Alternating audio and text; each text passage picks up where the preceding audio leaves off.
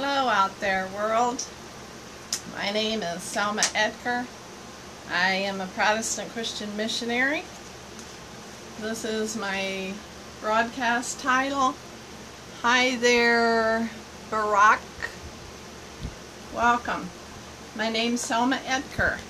I am a Protestant Christian missionary and I am broadcasting from St. Charles, Missouri in the United States. And Barack, I believe you were on with me the other day. It's good to see you again.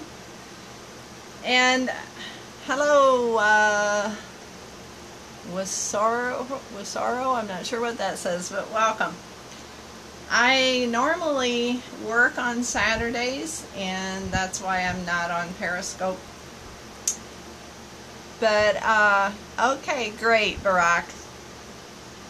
Um, but since I'm not working today, I decided I would uh, do another broadcast. And I have just a little bit um, different idea for today since uh, it's kind of an extra day, so to speak. I was thinking about this the last couple of days and obviously I get asked a lot of questions on Periscope, and that's what my broadcast title is, is Questions Ask Mrs. Selma Oetker. Uh, well, the topic today, Barack, is not one particular thing. What I decided to do is I jotted down several of the questions that I've been asked over the past months and I'm going to just read off some of those questions and, and answer them today uh, because there's always new people on and uh, I'm sure there will be people listening today that haven't heard me before or maybe haven't heard me answer these particular questions. So of course anyone out there is welcome to ask me something else today too don't I don't have to stick just to these questions but I decided this would be fun to do today and uh, so I'll start first with um, some personal information um, many people have asked me if I'm married when they first come on and yes I am married to Norman Oetker he is the love of my life um, we've been married now for about three and a half years and we live in St. Charles, Missouri. That's something else people ask, well, where are you? And of course, that's uh, to be expected. People want to know where we are. And here's a map of the United States. Okay, um, if you have a question, I'd be glad to take it. We live here just about in the center of the United States. Well, hello, Dubai. Welcome. Okay, so your question about Trump and Clinton. Um, you know, I think uh, Norman drew that. Well, thank you very much. We love Dubai also. We love all the people of the world. And that's why we're on Periscope. Because we are Protestant Christian missionaries and that means that we have been spiritually born again. We believe only in the Protestant Christian Bible. And when a person is spiritually born again, the Bible tells us that the love of God is shed abroad in your hearts. In other words, when you're born again, you're a new creation in Christ Jesus, and then God puts His love in your heart for all people. Thank you. And that's why we're on Periscope. It's that love of God that's in our hearts that compels us to tell other to tell everyone who will listen that Jesus alone is the way of salvation. That's the most important message in the entire world. And it's God's love that compels us to tell about Jesus. And so to answer that question about Trump or Clinton, you know, I could I could go into a, a deep discussion about that, and we have strong opinions about it. But I really don't want to get into politics today, so I'm going to answer it the way, the same way I've heard Norman answer it at times, and that is that Hillary Clinton needs to be saved, she needs to be born again. Donald Trump needs to be spiritually born again, and so does President Obama. So do most of the people in the world. Because they've either not heard the message of salvation through Jesus alone, or they've heard it and rejected it. And rejecting Jesus as your personal Lord and Savior is the only thing that sends a person to hell. So on that note, uh, one of the questions on my list is people have asked me, do I believe hell is real? And I can answer that very clearly because Jesus himself talks about it many times in the Protestant Christian Bible, New Testament. And when I am talking about the Protestant Christian Bible, that is our current English Bible. It was translated from Greek into English about 1500 AD. At that time, what does hell look like? Okay, it uh, the Bible describes hell as a lake of fire a place of eternal torment. Um, and I'll read a couple of scriptures here that I have written down since you asked that question. There's many scriptures in the New Testament about hell. And here's one of the verses that Jesus said in the book of Matthew, chapter 13. He's uh, talking about what will happen at the end of the age. That means after Jesus returns. Jesus said about himself, one of one of the titles he called himself was the Son of Man. And he said, The Son of Man shall send forth his angels, and they shall gather out of his kingdom all things that offend, and them which do iniquity, iniquity is sin, and shall cast them into a furnace of fire. There shall be wailing and gnashing of teeth. So it's described in this verse as a furnace of fire. And another time Jesus said also in the book of Matthew chapter 10, he said, Fear not those which can kill the body, but are not able to kill the soul, but rather fear him which is able to destroy both soul and body in hell. Um, I see your question about the TTP. Just hold on a minute, please.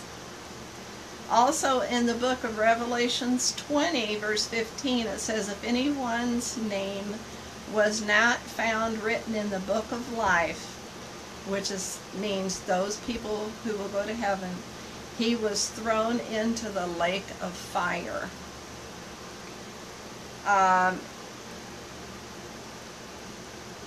uh, Barack, um, you know, I often wish now that uh, I could talk to my mom. She's she passed away a year ago. She was 99 years old, and um, I don't remember now if I ever asked her where she heard the name Selma and why she chose to name me Selma.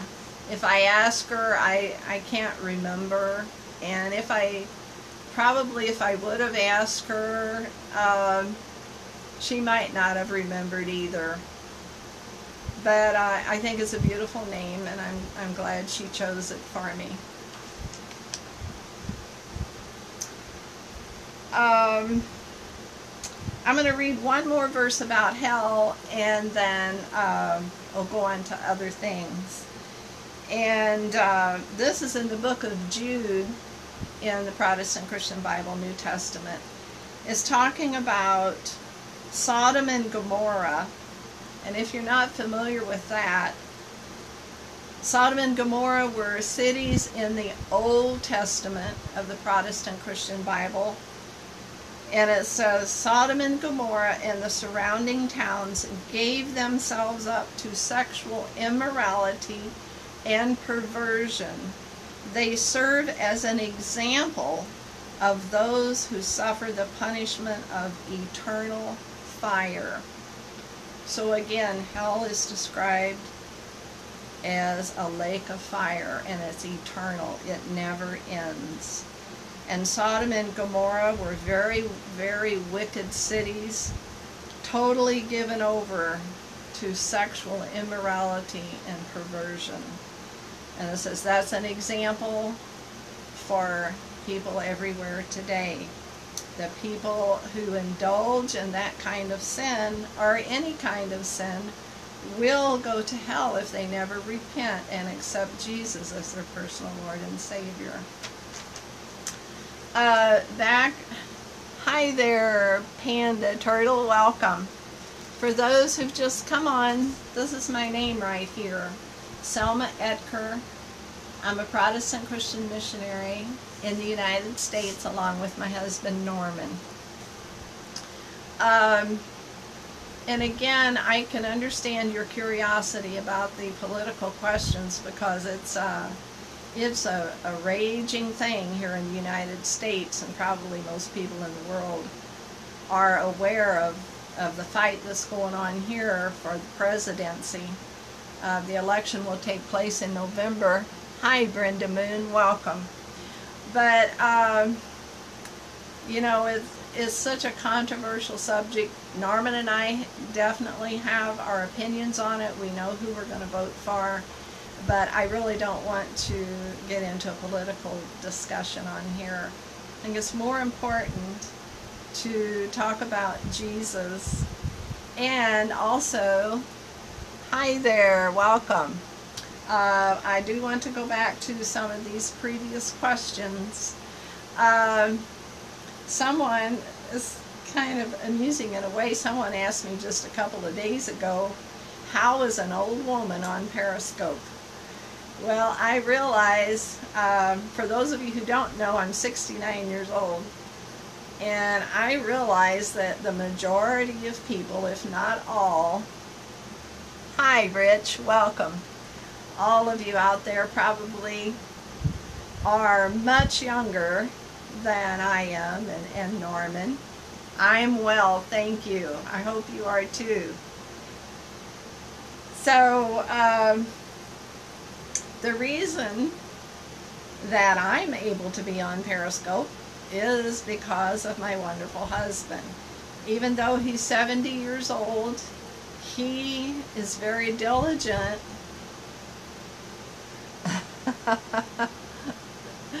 The best thing is to go to bed early. my husband is very diligent about keeping up with all the technology and um, so he's always learning. He does. He's determined to uh, to learn and to keep up with everything and how to do things. And because of that, he helps me to learn because I'm not that excited about learning new things. But uh, Good. uh, no, I do not believe in tattoos. I think it's wrong. Uh, and I know that most of the people, or a great many people in the world, and I see it more and more here where I live, more and more people have tattoos. And especially the, the women. I just see it constantly them getting tattoos. But I I think it's it's wrong as as a Christian woman. I I do not think that's right. I think it's uh, almost like mutilating your body. Um, God says in in our Bible, in the Protestant Christian Bible, New Testament, when you, for a person who is spiritually born again, and that makes you a child of God, and it says we are the temple of God. When we belong to God, when we are His child, we are the temple of God because the Holy Spirit of God dwells inside us. He coexists with us. And we are to take care of our bodies properly. And um, I just, I think it's ugly. And um, it's like, to me, it's like saying, well, I, my body doesn't look good enough. I want to decorate it. But that, that's not from God. It's just not from God, and I, I don't I don't like it. So thanks for the questions. Um, someone, well, a few people have asked, where did Norman and I meet? Uh, since we've only been married a few years, and that's something that we always enjoy talking about. We we met at at a church and uh, when we both found out that the other one was was single, Norman asked if I'd like to go out for coffee so we could get acquainted, and we did. We did that. We talked for three hours at a local restaurant here, and at the end of that three hours, we parted ways, and neither one of us thought that there was going to be any future for us together. It was just an okay thing. But uh, somehow we decided to get together again. We began emailing, and uh, within six months' time, we were madly in love and we got married. We met in October of 2012. We got married in April of 2013. And we went back to the same restaurant where we first got together. To, and uh, that's where we got married. We had a pastor and his wife came and performed our marriage ceremony. So we're so happy that God brought us together. Um, I had a person a few days ago when I was talking. It was someone that I believe had not been on my broadcast previously. And he said, So when do you ask for money? And uh, my answer was never. That was the first person who asked that question, and I guess maybe um, most people would expect us to be wanting people to, to give us money because of our ministry, but that is not what we're about. We never, never ask for money from anyone. We are doing this uh, broadcasting from our home, and we are doing it because we love God and we know that God wants us to share the love of Jesus with the entire world, and it has nothing to do with money. Um, I've been asked a few times what is my job, and normally I would be there today. Um, I work at an eye doctor's office and I work on I work all day Monday, half a day Thursday, and normally half a day Saturday. But um, I'm off today, and so I wanted to do another broadcast.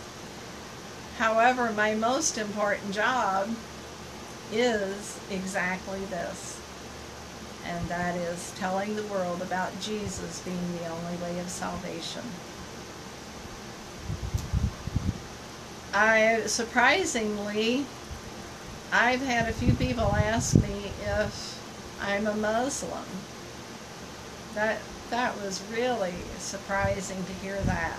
You would think just from looking at me, at my appearance, that people would know that I'm not a Muslim.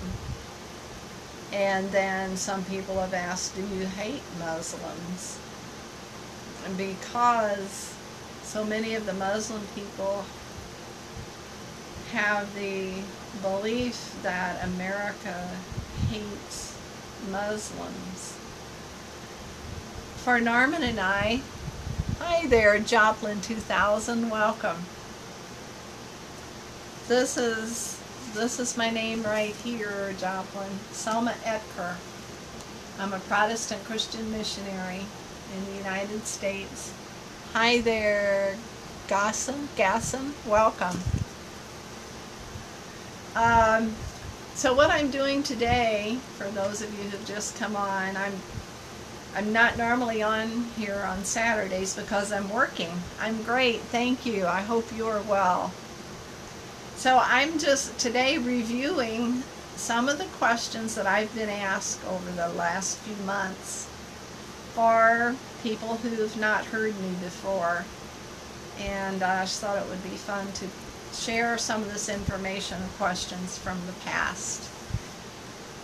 And um, so going back to the question about the Muslims, um, I've been asked, do you hate Muslims?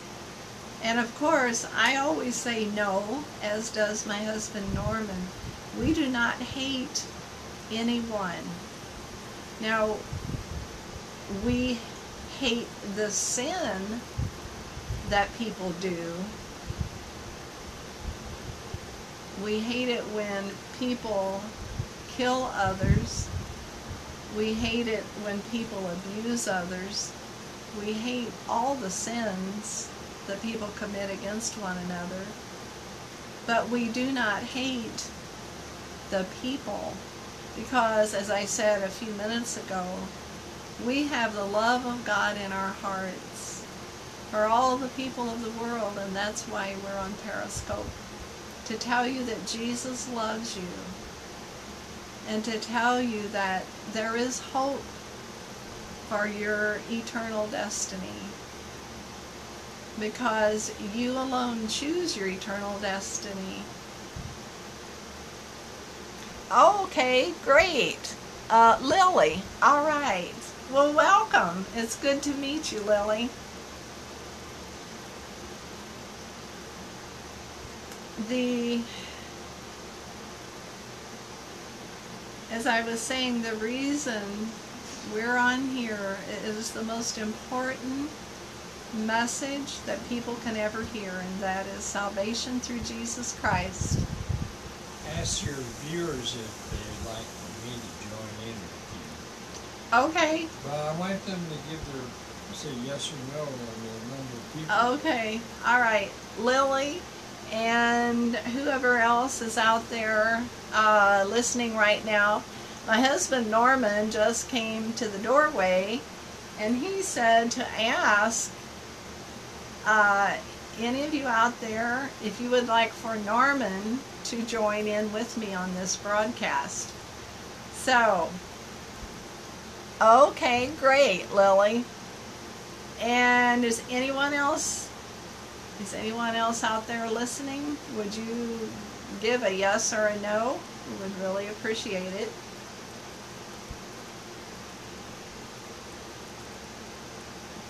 Okay, there's others. Okay, thank you, Lily.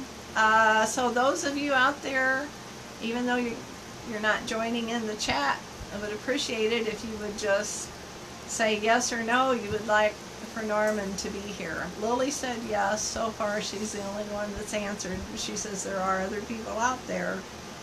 And uh, so, so far. Hi, Jake. Good to see you. Welcome. You're on, oh, Lily is on break from work. Okay, so you probably just have a short time. Yeah, she was Okay. me this morning. Yeah, Jake, you won a silver medal in Rio? Well, congratulations. Great. So, Jake, my husband is sitting over here to the side.